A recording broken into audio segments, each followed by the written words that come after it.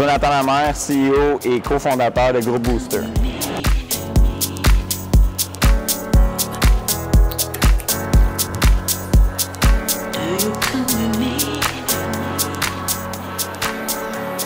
Jonathan, salut. Salut. Ça va bien? Très bien, toi? Ça va super bien, merci. Merci de te présenter euh, ici, d'avoir pris le temps, c'est-à-dire pour nous euh, aujourd'hui, euh, en cette journée d'anniversaire pour toi. Yes. Un beau 22 ans. 34. 34. on est approche, on est approche. tu es un entrepreneur? Ouais. Euh, tu as, commencé cette magnifique compagnie-là, ce magnifique produit-là qui est Booster. Euh, je, vais, te poser la question parce qu'on la pose dans toutes nos entrevues maintenant. Quel est ton why? Pourquoi tu es devenu entrepreneur que tu as lancé ce produit-là aussi? Euh, mon why, ben, comme tout jeune entrepreneur, c'est souvent de devenir millionnaire. Mais au-delà de là, je pense vraiment pour la, la, croissance de moi-même, vraiment m'emmener à un autre niveau. Puis le développement personnel, surtout, arriver à me transformer à travers ça, puis atteindre des objectifs que, personne n'a peut-être fait avant. Dans le fond, le surpassement de soi, entre autres. Mon objectif à court, moyen, long terme, donc tu as, inventé Booster, tu l'as développé. Euh, tu peux nous en parler peut-être, mais je veux dire, où, est-ce que tu vas amener cette compagnie-là en tant que telle? À l'international, on est déjà pas mal, on s'en est déjà en dedans d'un an pratiquement pan-canadien. Euh, d'ici fin 2016, on est pan-canadien. On est déjà en train de négocier des deals pan-canadiens. On est en train d'ouvrir déjà les États-Unis en ce moment même, puis on a des pourparlers pour l'Europe pour peut-être plus 2017, euh, fin 2017. Si on parle d'entrepreneuriat, donc tu me dis de développer toi-même euh, à fond, de ton côté, est-ce que c'est ta première expérience euh, Booster en entrepreneuriat? Non, ma première compagnie, c'est à 18 ans. J'avais une petite compagnie de lavage de vitres puis de, peinture extérieure et ah intérieure. Hein? On faisait beaucoup de porte-à-porte dans le temps, puis développé un peu mon sens des ventes. Puis, euh, mais après ça, j'ai eu d'autres entreprises. À partir de 23 ans, j'ai eu une entreprise plus sérieuse qui a duré pendant plusieurs années. Puis après ça, j'ai participé dans d'autres startups, d'autres entreprises qui n'ont pas tout le temps bien fonctionné, d'autres ont bien été. Donc, tu as tout le temps baigné dans ce milieu-là d'entrepreneuriat. Ouais. Euh, tu n'as jamais vraiment été dans le type 9 à 5, si on veut? Oui, je l'ai été, ce que j'aimais pas. Non, c'est ça? Tu as goûté un petit peu pour savoir que c'était pas, pas fait pour toi? Oh, aucunement, aucunement. Je pense que d'être pris dans un 9 à 5, tu te brimes de ta capacité euh, personnelle d'être capable de peut-être atteindre de quoi, des rêves, des objectifs de vie que tu ne pourras jamais faire. Euh, jamais qu'est-ce qui t'a poussé justement à 18 ans? Tu t'es dit, bon, mais je, lance cette entreprise-là euh, de lavage de vitres, de peinture extérieure, qui, est peut-être un classique pour des étudiants en la matière. Là. Mais à la base, je veux dire, à 8 ans, quand tu jouais au Lego, au G.I. Joe, tu disais-tu, moi, je vais être entrepreneur? Euh, à 14 ans, j'ai dit à mes parents que je serais multimillionnaire. OK. Puis euh, tout le monde est parti à rire lors d'un Noël en famille, puis ça m'avait fait assez marrer à ce moment-là, mais j'ai jamais dérogé de ce bout-là. Puis mon père m'en a reparlé une couple d'années parce qu'on était en affaires ensemble. Puis ça a toujours été mon focus euh, depuis que j'ai 14 ans. Donc, euh, des Lego à où ce que je suis aujourd'hui, j'ai déjà été dans la construction, fait que euh, j'ai bâti, j'ai bâti une façon ma, ma petite paix personnelle depuis là. Excellent. Fait que tu as un but mais j'étais pas capable de recevoir. Je, détestais me faire dire quoi faire en, partant. quand c'était un 9 à 5, fait qu'à un moment donné, tu n'as pas le choix de prendre peut-être un peu d'initiative pour essayer d'autres choses. Quand tu découvres la liberté euh, d'être entrepreneur, euh, les possibilités derrière, c'est hallucinant. Tu peux pas revenir dans un 9 à 5, même si des fois c'est dur, même si des fois tu peux en arracher. La liberté que ça procure, le sentiment d'accomplissement, la, confiance que ça donne, tu ne retrouves pas ça dans un 9 à 5. Actuellement, est-ce que tu travailles sur un seul projet ou c'est-tu dans cette façon-là? Parce que là, tu me sembles avoir eu plusieurs entreprises. Euh, on avait d'autres projets on the side, puis on a décidé un peu de mettre tout ça de côté. On avait une idée de projet dernièrement qu'on voulait lancer, mais on a comme vraiment mis ça de côté pour focuser, étant donné qu'il y a des, des, plein de belles choses qui est arrivé à Booster dernièrement. Fait qu'on a décidé de mettre toute notre énergie là-dessus, notre focus, parce que souvent, on est porté à faire plein d'enfants en même temps, mais quand on se met à faire plein d'enfants, on perd peut-être le, focus sur quelque chose qui est important. Donc, euh... en parlant de focus, puis tu parlais il y a quelques instants de l'accomplissement que ça donnait. Donc, souvent, les entrepreneurs, on a cette. Euh, cette qualité de notre défaut-là de célébrer nos, euh, nos, victoires. nos victoires super high, puis on appelle ça le, low, very low aussi. Là. Comment tu fais pour gérer ça de ton côté? Est-ce que, est -ce que tu, médites, tu prends du temps pour toi-même? Tu... Le pourquoi tu as commencé à le faire, faut jamais que tu l'oublies. Puis c'est quand c'est difficile, des fois on est, porté à l'oublier. Fait qu'autant dans l'entraînement, n'importe quoi que tu es en train d'accomplir, quand ça commence à être dur, tu abandonnes, mais il va falloir toujours que tu recommences anyway. Fait que je pense de, vraiment comprendre pourquoi tu t'es embarqué puis jamais l'oublier, ça fait une grosse différence. Très bien dit. C'est bien dit, ça? C'est super bien dit. Excellent. Tu m'as parlé de ton objectif.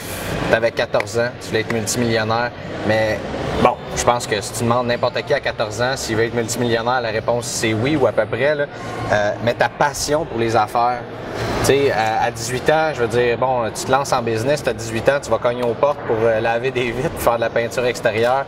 Tu te feras pas mal souvent le à des portes fermées aussi. Euh, qu'est-ce qui t'a quand même donné le goût de continuer cette passion-là, de dire, OK, je comprends que je développe quelque chose, puis je veux aller plus loin dans ce monde-là de l'entrepreneuriat? J'ai déjà échoué. Puis, euh, je pense que souvent, les gens vont voir l'échec du mauvais œil. Moi, ça m'a motivé encore plus. Puis ça ma détermination, elle a encore plus agrandi. J'étais encore, mon niveau de détermination est encore plus puissant qu'il était avant. J'étais encore plus dur à atteindre. Fait quand il y a des choses difficiles qui arrivent dans ma vie, je suis beaucoup plus porté à les mettre de côté puis à pas mettre d'emphase sur ça. Fait que si tous les échecs que j'ai pu vivre, ça a été mon moteur qui m'a continué à avancer, puis avancer, puis à faire en sorte qu'aujourd'hui je suis là. T'es-tu un positif inébranlable, c'est ça que tu dis? Inébranlable, je pense que personne n'est inébranlable. Je veux dire, on a tous des coups durs, on a tous des, des, coups qu'à un moment donné, on se pose peut-être des questions, mais je suis, les gens qui me connaissent vont dire que je suis quelqu'un assez de, de, positif. Fait que j'essaie toujours de regarder le verre à moitié plein, non à moitié vide. Je pense, je pense que tout le monde devrait adopter ça. La vie est trop courte pour s'en faire on va tous mourir anyway. Fait que pendant qu'on est là, peut tous bien focusser sur ce qu'on fait puis vivre la vie de nos rêves. Là. Tout à fait. fait que, Très bien dit. Ouais. Très bien dit.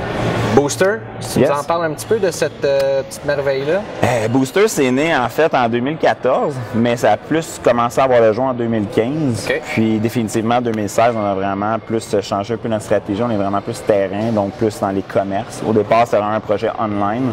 Euh, puis on a vraiment changé notre directive. Puis maintenant, on est en train de voir un peu faire de Booster l'appareil, l'extension de la vie numérique de nos clients, un peu leur donner une puissance d'énergie partout où ils vont aller. Euh, peu importe où ils sont, n'importe quand, n'importe quelle activité, d'être capable d'avoir une source d'énergie portable. Euh, puis dans le fond, euh, on connaissait d'autres personnes qui avaient des projets similaires, puis on, s'est mis à analyser le marché. Puis on s'est rendu compte à quel point que les gens faisaient des erreurs. Puis on a décidé de faire différent que les gens. Puis on apporte quelque chose de différent sur le marché en ce moment, donc on commence à s'en rendre compte. Donc qu'est-ce qui est différent entre Booster et n'importe quelle autre euh, machine euh, à batterie que je vais trouver sur Amazon à rabais? Bien, en partant, nous, on a décidé d'être vraiment manufacturier. Il y en a beaucoup qui vont dire qu'ils sont manufacturiers, mais ils font pas faire leur propre batterie. C'est pas à l'interne qu'ils font leur propre design. Ils font pas de choix de composantes à l'interne. Euh, ils n'ont pas une latitude de conception. nous, tout ce qu'on voit dans nos produits, c'est vraiment une conception interne. On fait assembler avec des partenaires dans le domaine de la manufacture parce qu'on n'a peut-être pas les, les, fonds pour le faire, parce que peut-être qu'un jour, on aimerait avoir notre propre usine, mais c'est pas là. Fait que dans le fond, on a vraiment bâti un produit haut de gamme. Fait on arrive sur un marché de quoi de qualité en aluminium, le, le casing est en aluminium au lieu d'être en plastique. On essaie d'aller chercher une, qualité de batterie hors pair, ça veut dire une batterie au lithium et d'autres ingrédients qui font qu'on a une meilleure résistance, une meilleure puissance. Après ça, on a deux ans de garantie. On est les seuls en Amérique du Nord après deux ans de garantie sur nos produits. Puis on continue à focuser là-dessus. Notre approche est différente, notre design est différent. On arrive avec de quoi un peu de, nouveau, un peu plus de chic, d'élégant, comparativement à bien les produits. Donc, euh, c'est déjà des points assez forts. Sinon, on est compétitif dans les prix. On est très, très, très compétitif. On n'est pas agressif parce qu'on ne veut pas vendre un prix, mais plutôt une qualité, mhm. une expérience client. Et qu'on focus là-dessus. Euh, assemblé au Canada ou designé au Canada? Designé au Canada, assemblé euh, en Chine. La Chine, c'est intéressant. je vais te poser la question, tu vas la comprendre. Pourquoi la Chine? Pourquoi pas le Canada? Pourquoi pas, par exemple, un autre pays qui peut euh, être encore plus euh, émergent en. Un, les contacts. Nous, on s'est fait des contacts. On a un, ami à nous maintenant qui reste là-bas. Fait que c'est sûr que ça nous permet d'avoir peut-être une porte d'ouverture. Euh, de plus que peut-être certaines personnes n'ont pas. Après ça, qu'est-ce qu'on a d'avantage à faire là-bas versus le Québec? Le Québec, tout est plus cher en frais de salaire et tout. Fait que d'arriver à faire un produit comme ça, on n'arriverait pas les prix. OK ce serait pratiquement impossible. Euh, d'arriver à un prix de 169,99, on le vendrait peut-être 250, 300 pour le même produit. Il y a beaucoup d'entreprises qui s'indignent contre ça si on veut fabriquer en Chine maintenant. Euh, de ton côté, euh, tu, vois ça comment? Là? Donc, tu dis, bon, mais pour rester compétitif dans le marché, on doit faire ça. Euh, il y a beaucoup de gens qui pensent la même chose également dans le, textile, dans le linge, si on veut, et autres. Euh, ton côté, tu penses quoi à ça, des, gens qui refusent de faire affaire avec la Chine? C'est correct. Moi, je respecte ça. Je respecte ça. Autant que nous, on a pris une décision. Si on pourrait tout le faire ici, on le ferait. Peut-être qu'avec le temps, on va arriver à, amener certaines composantes à être produites ici. Ça a été dans notre, objectif de départ. Sauf qu'à court terme, quand tu starts, tu ne veux pas t'empêcher de starter parce que tu manques de fonds. souvent, les gens ils se disent Ouais, mais je n'ai peut-être pas l'argent. Non, mais fais-le, puis tu trouveras une solution au fur et à mesure. Mm-hmm. c'est un peu ce qu'on a fait. On est starté euh, de rien. Puis, euh, fait que j'ai rien contre les gens qui, qui refusent de faire affaire avec l'Asie. Je pense qu'il y a des bons et des mauvais côtés de l'Asie. Puis il y a des bonnes personnes puis des mauvaises, comme qu'il y a des bonnes entreprises puis des mauvaises. Donc c'est juste de faire des bonnes sélections. Excellent. D'accord avec toi là-dessus.